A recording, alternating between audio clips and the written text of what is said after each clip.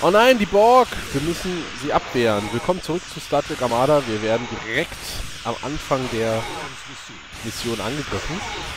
So mögen wir das am liebsten. Aber die waren jetzt erstmal noch nicht so ein Problem. Damit wollte uns das Spiel nur schon mal zeigen, ja, so wird das jetzt laufen während der nächsten Spielminuten und Stunden. Naja, wahrscheinlich nur Minuten. Äh, wir haben dummerweise genau 10 Raumschiffe, also leider zwei zu viel, um sie alle in einer äh, Flotte zu haben. Aber wahrscheinlich ist das exakt austariert für diese Mission. Ich weiß ehrlich gesagt nicht mehr, wie das jetzt hier laufen wird. Ähm, dafür ist es doch zu lange her, ob wir zu...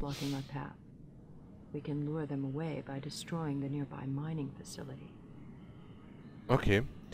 Ob wir nochmal irgendwo neue Schiffe bekommen, weiß ich natürlich nicht. Äh, unsere Kommandantin sagt, wir sollen bitte gerne hier rechts die Mining Facility zerstören und dadurch die Borg weglocken. Mal gucken, ob das was, was bringt, ob das eine gute Idee ist. Ich werde jetzt mal bei der Mission, weil das so eine typische Mission ist, wo man seine Fehler nicht gut ausbessern kann, werde ich jetzt mal... Äh, Habe ich das jetzt gespeichert? Ja, hier. Komisch, warum hat er das jetzt überschrieben? Habe ich es aus Versehen angeklickt? War mir gar nicht bewusst. Egal. Ähm, das ist so eine Mission, wo man seine Fehler nicht wieder ausbügeln kann durch kurz warten und noch ein bisschen Ressourcen sammeln und so. Deswegen speichere ich da jetzt mal öfter vielleicht. Engage engines.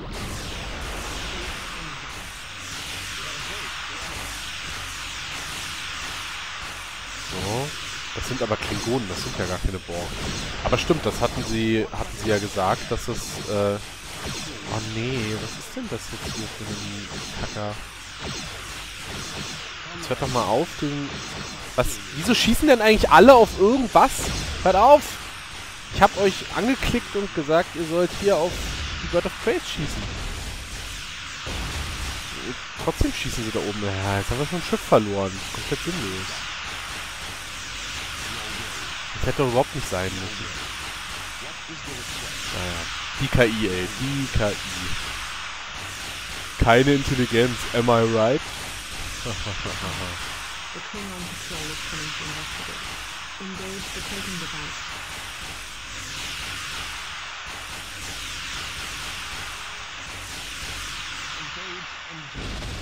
So, jetzt hauen wir hier unten ab. Verkrümelt euch, verkrümelt euch.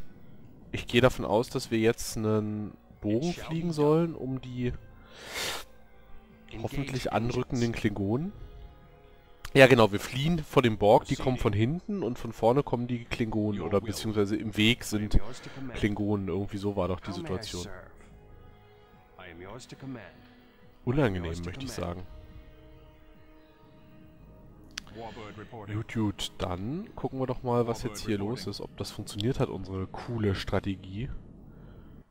Äh, speichern. Speichern, speichern, speichern. Hier. Ja, überschreiben. Danke. Weiter. Hallo. Fliegt mal bitte dahin, wo ich das haben möchte. Wobei, das ist ja hier nicht unbedingt notwendig. Die Flotte ist ja wahrscheinlich abgehauen. Wieso? Kommt doch bitte, ich habe hier hinten hingeklickt. Fliegt da bitte auch lang. Ah. Ich struggle ein bisschen mit der Wegfindung der, der KI. Die müssen wir doch jetzt an sich gar nicht zerstören, oder? Lass uns mal weiterfliegen hier nach Westen. Ist die Frage, ob hier unten noch irgendwas ist.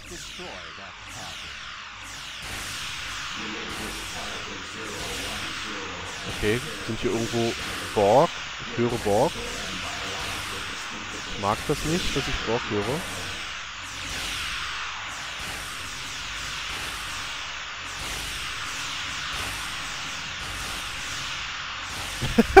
Was macht denn das?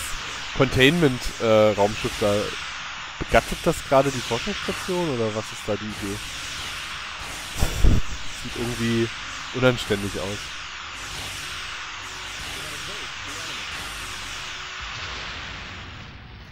So, runter jetzt, oder? Ich flieg mal kurz mit den zwei Schiffen hier hoch. Und mit denen, mit der restlichen Flotte hier runter. Oh, da kommen schon die Borg. Bleibt mal alle zusammen. Ja, gut. Ein kleiner... Äh, ein kleiner, kleines Borg-Rechteck. Keine Ahnung. Wie heißen die Dinger? Ah! Eine Borg-Xbox! Nein! War jetzt auch nicht so schlimm. Okay, da oben geht's nicht weiter. Dann fliegen wir jetzt nach Süden.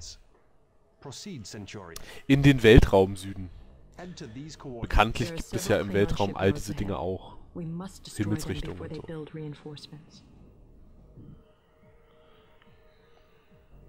Okay, also da unten sind klingonische Werften, die sollten wir dann vielleicht auch mal angreifen.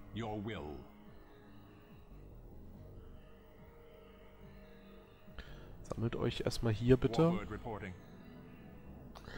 Ja, mit den drei Warbirds, das ist schon eine ganz gute Ausstattung von so einer Flotte. Da kann eigentlich gar nicht so viel passieren, es sei denn, es kommen jetzt fünf Borg-Kuben äh, oder so. Ich sag mal, gegen fünf Borg-Kuben möchtest du, egal in welcher Konstellation, nicht antreten.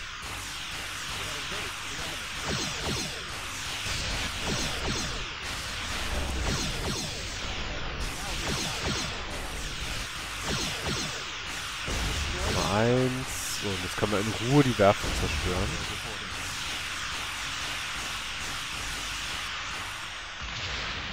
Bevor die hier irgendwie neue Raumschiffe bauen. Ich meine, das haben sie schon gemacht, aber...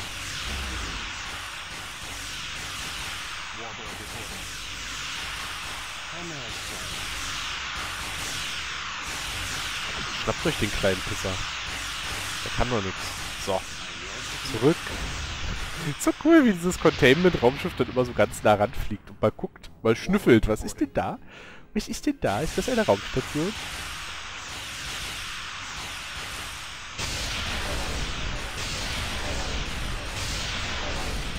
Jetzt können wir die Schilde mal wieder ein bisschen aufladen. Was wir eigentlich machen könnten, ist ja uns tarnen, oder? Das habe ich doch gar nicht gemacht. Wir sind ja Romulaner. Man könnte eigentlich getarnt rumfliegen. Warte mal, ich probiere das jetzt mal. Äh, Green Alert. Yellow Alert, was war das nochmal? Proceed with orders unless the enemy engages first. Das ist doch genau das, was wir brauchen. So.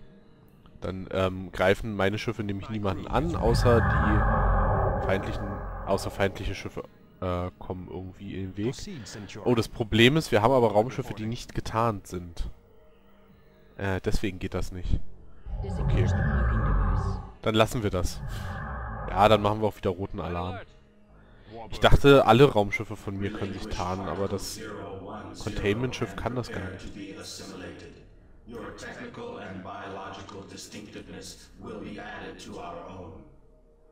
Ich finde übrigens total nett, dass die Borg diese immer gleiche Anrufbeantworteraufzeichnung haben, die man, ähm, die man dann schon kennt. Keine Überraschung mit den Borg. Das ist doch total nett. Ihre technischen und biologischen Eigenarten werden den unseren hinzugefügt. Warum erklären sie das überhaupt? Warum erklären sie überhaupt irgendwas?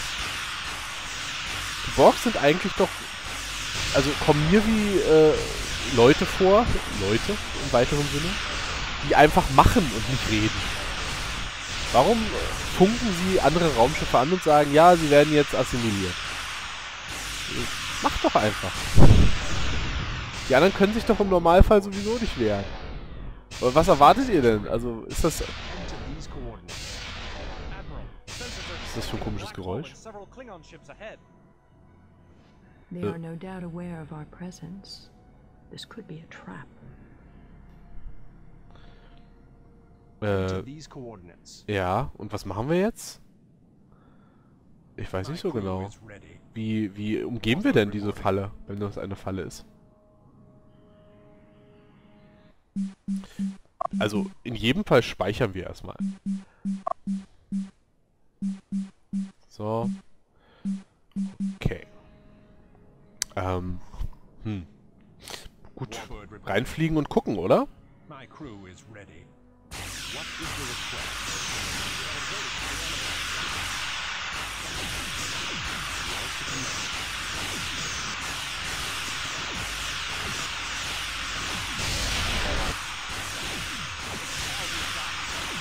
Ab ins schwarze Loch.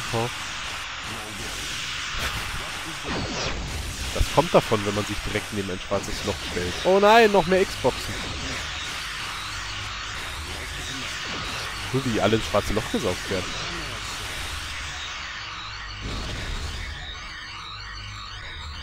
Ähm, was ist das jetzt wieder für ein extrem nerviges Geräusch? Menü? Geräusch weg. Ah, Dankeschön. Gott, das nervt immer, wenn sich dann der Sound so festhakt. Nein, aber was die Borg angeht, wisst ihr, was ich meine? So, gibt es eigentlich irgendeinen Grund, warum sie immer ankündigen, was sie jetzt machen? Also, dass sie jetzt das Raumschiff assimilieren? Warum, warum machen sie diese Funkdurchsagen? Ist das Freundlichkeit? Höflichkeit? So, ja, sie werden jetzt assimiliert, nur so zur Info. So wie wenn der äh, wenn der Lokführer in, im Zug sagt, so ja, ähm, der nächste Ausstieg ist jetzt gleich hier. Wir halten jetzt gleich. Äh, das merke ich ja dann auch. Also, wenn der Zug langsamer wird und der Bahnhof sich nähert und so.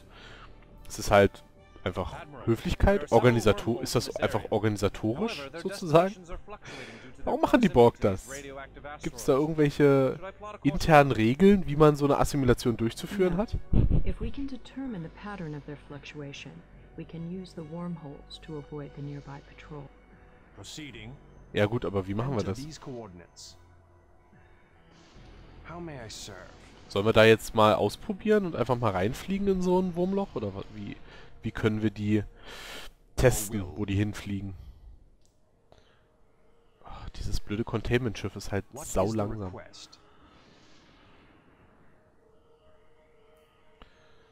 Okay. Dann gucken wir doch mal, wo das Wurmloch uns hin verschlägt. Da hinten hin, okay. Ist das jetzt cool oder ist das mehr so blöd? Hier komme ich doch jetzt nicht raus, oder? Komme ich hier raus?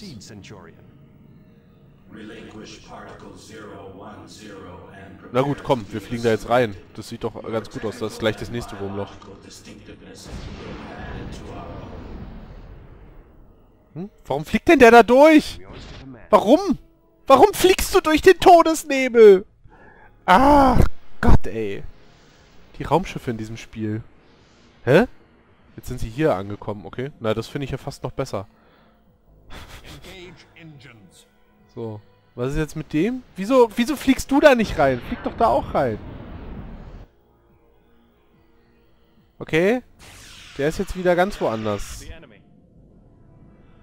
Das mit den Fluktuationen nervt aber schon ein bisschen, dass man nicht weiß, wo man rauskommt. Jetzt ist er da oben rausgekommen. Pff, scheiße. Jetzt hör auf, auf Sachen zu schießen. Ey, ich krieg dieses eine Raumschiff, das ist echt das dumm, dümmste Raumschiff aller Zeiten. Was ist denn mit dem? Jetzt... Yes. Ah. Jetzt fliegst du halt mal durch das Wurmloch hier. Mal gucken, was dabei rauskommt.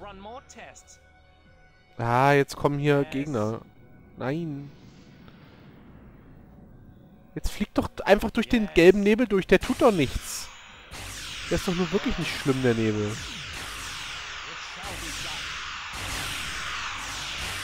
So. Rein da, wo kommen wir jetzt raus? Bestimmt wieder ganz woanders. Oh, wieder da oben, ey. Ich krieg den einen hier nicht mehr. Den krieg ich nicht mehr. Zurück. Shit. Ja, okay. Wir sind zumindest wieder mal woanders. Können wir da jetzt nochmal reinfliegen und vielleicht an einer sinnvollen Stelle rauskommen?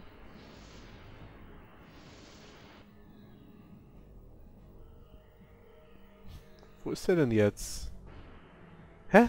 Ist er jetzt aus demselben Ding wieder rausgekommen, wo er reingeflogen ist? Das ist doch total albern.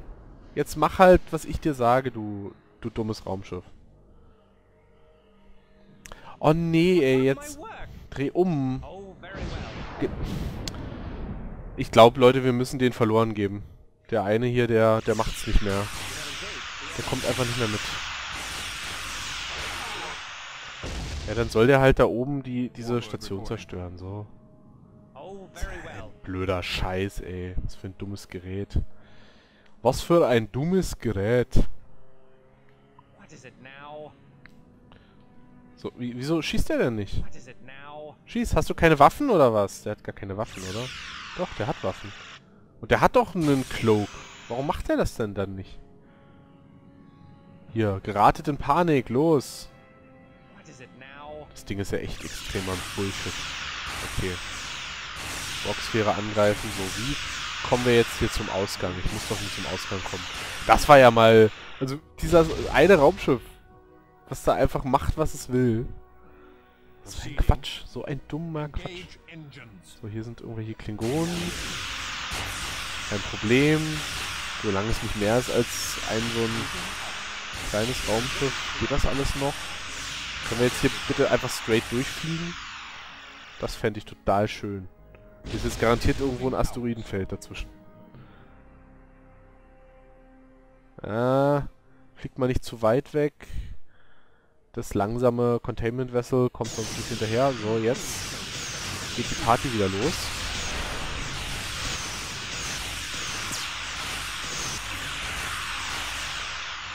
Okay. Das war wahrscheinlich eine dieser ominösen Patrouillen, die wir ähm, möglichst nicht abpassen sollten. Ein Schild ein bisschen auffüllen hier. Kann man ja auch mal die Spezialwaffen nutzen, die wir so haben. Kommt, es ist nicht mehr weit. Bitte lass mich da jetzt einfach durchfliegen. Ja. Ja. Sieht doch gut aus. Da ist nichts mehr. Ja, und du kämpfst hier den einsamen Kampf, ne? Na komm, wir probieren es nochmal. Was ist das eigentlich? Holo-Emitter. Oh. Jetzt ist er wieder da oben. Ach komm. Your technical and biological distinctiveness will be added to our own. Ich kann es euch echt nicht sagen, was jetzt hier die Idee ist. Also wie, wieso man ums Verrecken nicht mehr zu diesem Wurmloch hier runterkommt. Ich weiß es einfach nicht. Ah! Kaum habe ich es gesagt. Äh, kaum habe ich mich nochmal beschwert. Aber ich habe mich doch die letzten fünf Minuten über nichts anderes beschwert. Warum hat das Spiel mir denn da nicht zugehört? So, Containment Vessel, jetzt komm mal hier an, bitte. Damit wir mal fertig werden, bevor die Borg wiederkommen. Die kommen bestimmt Excellent work, Sela. My escorts and I will remain here to intercept any more Borg that are in pursuit. Take Omega to our secret base beyond the wormhole. Very well. Very well. and prepare to be assimilated. Your technical and biological so. distinctiveness will be added to our own. Not today it won't.